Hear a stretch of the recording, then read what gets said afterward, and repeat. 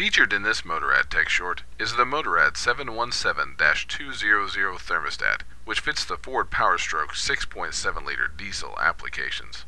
This thermostat features two pellets, which have different opening temperatures. This allows for variable amounts of flow, as different coolant demand is required. It is also important to note that the thermostat can be installed with either pellet in the front to rear orientation. This thermostat also includes a pre-installed seal for proper fitment and sealing. Be sure to check out the other new products and Tech Short videos from MotoRad, leading the way in coverage and service.